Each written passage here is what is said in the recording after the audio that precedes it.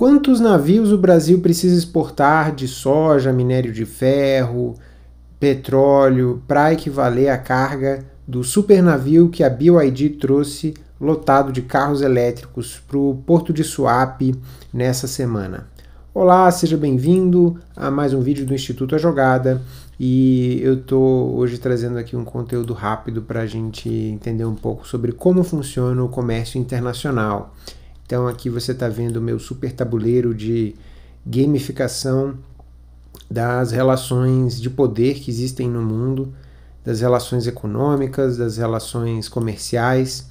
E, e, com esse quadro você visualiza um infográfico muito revelador sobre o comércio internacional. Eu estou aqui focando um pouquinho para você ver como é no caso da China a grande, gigantesca a balança comercial, as trocas comerciais que a China faz com o mundo. E, e como chegou é, essa semana esse super navio da BYD com um carro que é na verdade um, um, lançamento e uma grande jogada de marketing que a BYD está fazendo, é, trazendo pela primeira vez esse super navio para justamente para o mercado brasileiro, porque ela vem trazendo uma novidade para a indústria automotiva mundial, que é um carro todo concebido para brigar com o melhor carro do mundo, o é, por muitos considerado o melhor carro do mundo, o Toyota Corolla, é, que é também o carro mais vendido do mundo, por muito tempo já foi o carro mais vendido do mundo. E, e aí a BYD, para causar esse impacto, né, trouxe um, um navio é, que é talvez o maior da, da sua categoria, né, o maior navio pensado para transportar automóveis no mundo e realmente um, um, um veículo colossal com 200 metros de comprimento. E aí eu, eu tenho aqui algumas dimensões sobre esse navio para a gente é, admirar. Né? O navio tem 199,9 metros de comprimento, 38 de largura e ele tem mais 9 de profundidade, que é o que chama calado na, é, na indústria naval. Então vamos comparar esse navio e a sua carga, né, que são esses veículos, de alto valor com os navios que o Brasil usa para exportar as commodities que produz. Então vamos começar com o navio que transporta boa parte do petróleo que o Brasil produz, do petróleo crude oil, né, que é o petróleo bruto, né? E bom, é, esse navio que é o maior da, da categoria dos petroleiros, é conhecido como VLCC, que é chamado Very Large Crude Carrier. Então, é, na frota brasileira da Petrobras e é, outras transportadoras de petróleo, o, o navio mais, com maior capacidade que tem é esse VLCC, cujas dimensões podem ultrapassar 300 metros. É, esse tipo de navio, a largura ele chega a 50 metros e a profundidade dele vai de 20 a 30 metros, que é o calado que eu estava falando. E com isso ele pode transportar de 200 até 320 mil toneladas de petróleo bruto. Então, é, às vezes a gente vê esse navio é, mais ou menos como a gente está vendo aqui, quando ele está baixinho assim, quando ele está muito próximo do nível da água, é porque ele está carregado, né? E aí a gente vê aqui, por exemplo, uma foto de um navio carregado passando, recebendo carga de um navio é, descarregado, né? Opa, ao contrário.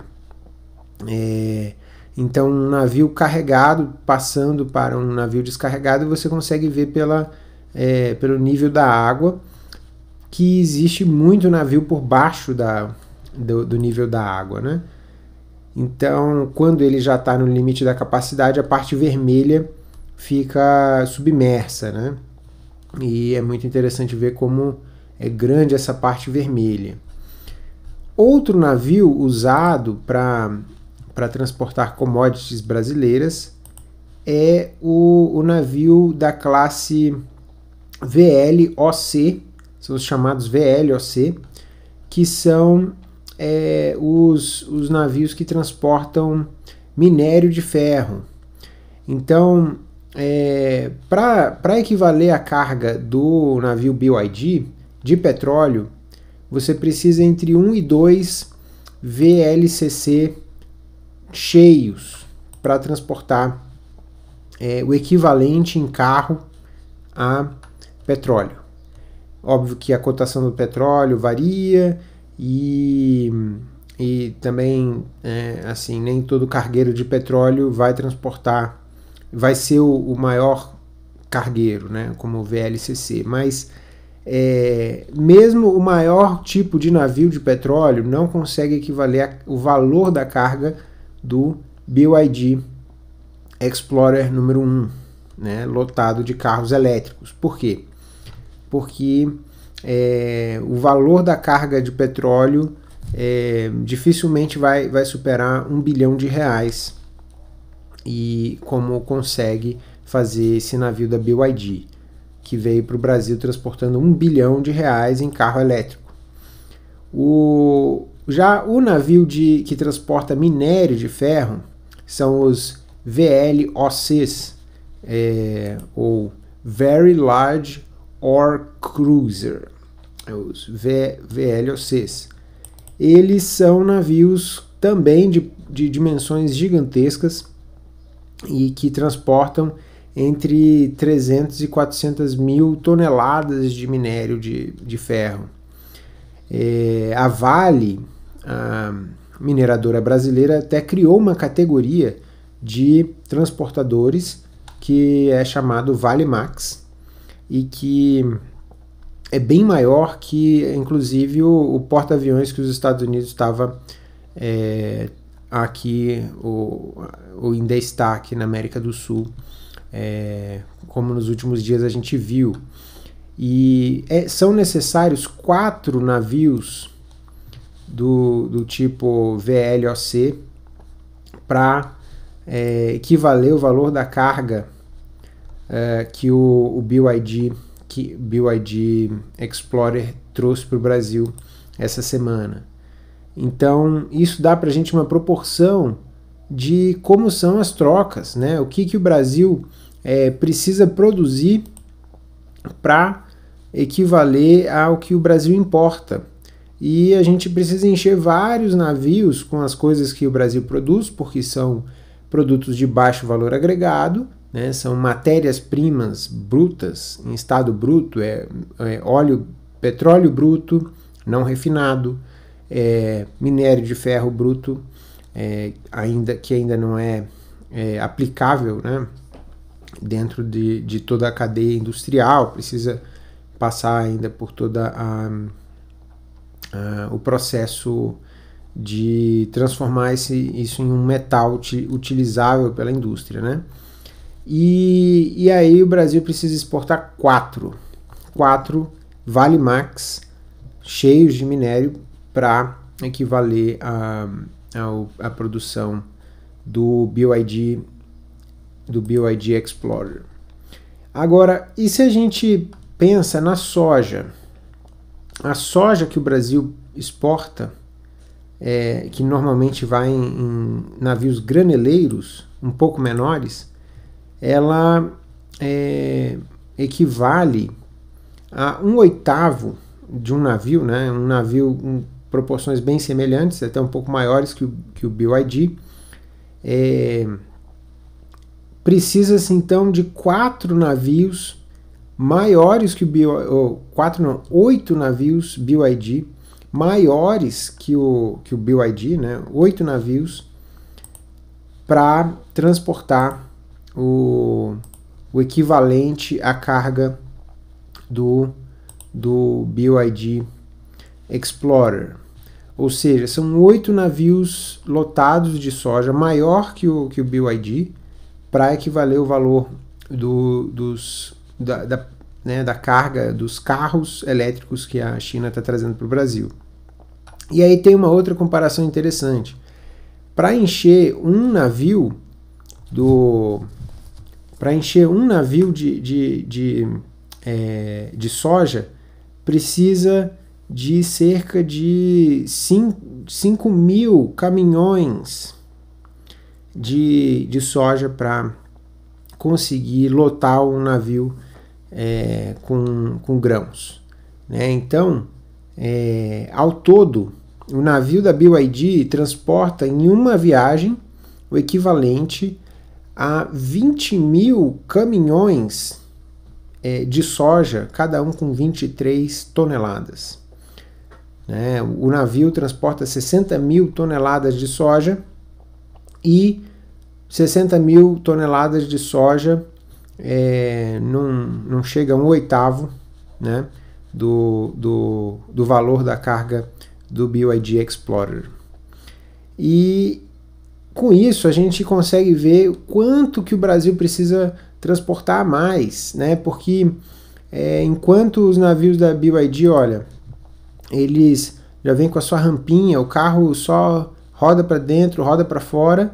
É, o Brasil precisa de 20 mil viagens de caminhão, trazendo da fazenda de soja lá no interior até um porto e é, toda a logística de carga e descarga de oito navios para equivaler à produção que o BYD Explorer traz com seus carrinhos que andam sozinhos né? Não precisam de caminhão, etc. Óbvio que da fábrica até o porto, ou o carro é, já está próximo da fábrica, né? O, a fábrica já é próxima do porto, ou ele já vai em um caminhão cegonha, uma, um vagão de trem que transporta o carro, mas se fosse necessário o carro ir andando, seria possível, né? O que é bem mais prático de transportar que toneladas de soja por estradas mal conservadas como as brasileiras, né? Mas as comparações que eu estou fazendo aqui são só com as commodities, né? Com commodity de petróleo, é, minério, grãos, mas a gente poderia fazer também a comparação com um produto de alto valor agregado que o Brasil exporta, que são os jatos é, jatos Phenom da Embraer. Esse jatinho que a Embraer fabrica é um dos mais vendidos no mundo e, e ele tem um preço de 4,5 milhões de dólares cada unidade desse jatinho. É, ele é um dos mais baratos também da categoria, por isso é um sucesso. E o Brasil precisa fabricar e vender 50 jatinhos desse aqui para equivaler à produção, a, a, carga que vem no navio da BYD. Então, mais uma vez, uma, uma comparação interessante. Óbvio que os jatinhos valem bem mais do que o do que o, um avião, do que um carro elétrico da BYD, né? Ou seja, precisa de 100 carros elétricos para valer o valor de um jatinho da Embraer mas é, a Embraer leva um ano para conseguir fabricar 50 jatos desse, fabricar e vender. Né? Ou seja, em uma viagem do BYD, eles transportam o valor de um dos itens mais vendidos da Embraer e também mais valiosos, né, com maior valor agregado da balança comercial brasileira em uma única viagem, né? Então a China vai fazer várias viagens com esse avião, com esse navio e, e vai transportar isso para o mundo todo e vai fabricar. É, espera-se, né, em 2024 cerca de 10 milhões de carros elétricos. 10 milhões. E comparando tudo que o Brasil vai produzir de soja com que, tudo que a China vai produzir de carro elétrico, se a gente trocasse toda a produção de soja brasileira por carros elétricos, a gente trocaria por algo em torno de 1,5, 3 milhões de carros elétricos chineses. Estou é, falando de trocar 150 milhões de toneladas de soja por, por é, carros elétricos chineses. E outra comparação interessante é que para valer o valor de um BYD King de 160 mil, 180 mil, você precisa de quatro caminhões é, truck transportando 23 toneladas de soja.